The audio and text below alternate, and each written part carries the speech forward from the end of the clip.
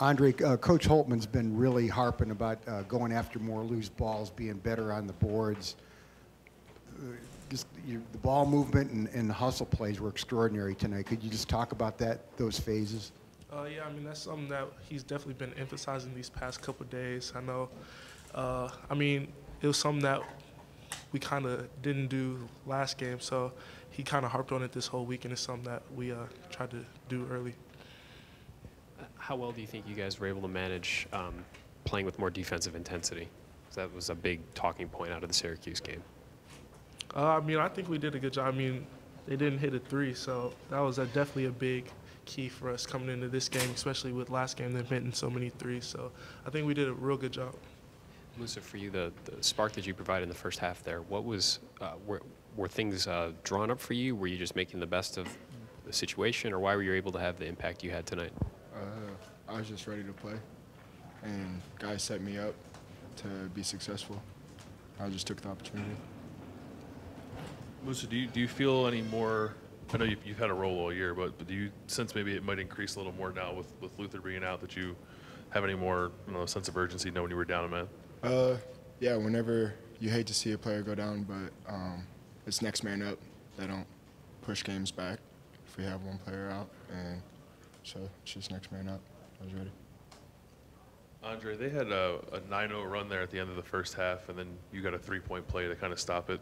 Took it from an eight-point lead to an 11-point lead at halftime. Just, did you sense how big that that bucket was for you in that moment, and what did that do for you guys momentum-wise going into the half? Uh, I mean, I realized that it was a big play. I mean, they were kind of on a run, like you said, and for us to get that bucket, I mean, I think Moose gave me the assist. So, I mean, just my teammates looking for me and um, just trying to make plays to get our momentum back. So, I think both of you guys had like your best games last year against Purdue, and this is probably your best, both your best games this year. Um, how important you guys always get lauded for your defense, but um, what were you, was working for both of you guys offensively tonight? uh, I mean, just being ready. I mean, a lot of the shots that we got was because of our teammates. They were just setting us up, putting us in the right positions, and coach putting us in the right places. So we were just ready.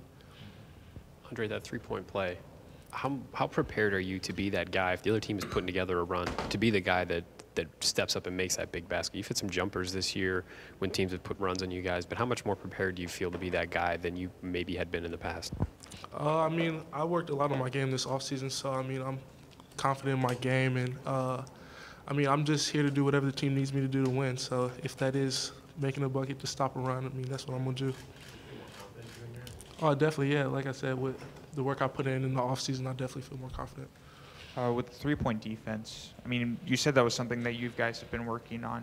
I mean, what kind of went into that, and what kind of led to that kind of success tonight against Minnesota?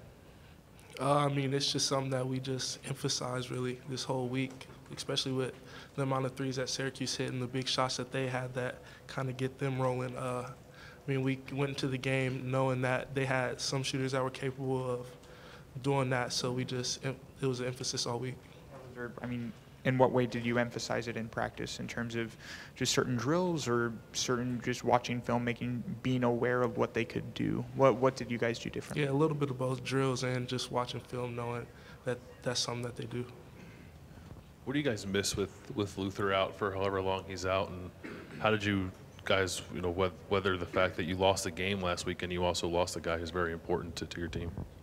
Uh, I mean, you guys see it. He brings uh, a lot of energy and a lot of life on both ends of the floor, and he's not afraid to attack or get up in somebody on defense. And so we just had to all collectively step up and fill that part. To follow up on that, Luther still was extremely active over there on the sideline. He was almost standing as much as Coach Holtmann was the entire game. You know, is that encouraging to see that he's still engaged even though he's out? Yeah, for sure. There's no holding him back.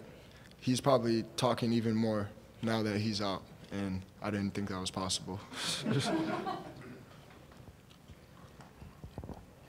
Mr. Fee, what, what's it feel like? You, I mean, the, the student section was chanting Moose as you were getting things rolling there. Uh, what, what does that feel like when you're making an impact and the, the crowd is feeding off of it? Uh, what, what is that like? Um, I mean, it feel, feels good that you have a whole program and uh, fans that are dedicated to the team, and when the, whenever they're supporting you and you're doing well, it feels great.